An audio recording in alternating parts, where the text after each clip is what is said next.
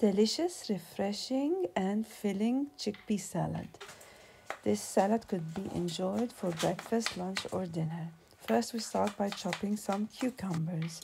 Then, we chop some green onions and red chilies. Red chilies are optional, but they add a little bit of a kick.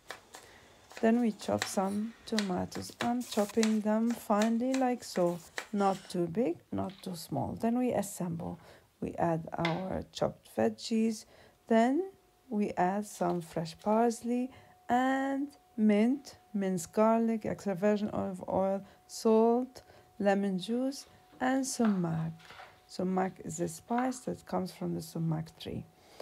We then add some cooked chickpeas. We mix everything and we enjoy delicious, refreshing, and filling.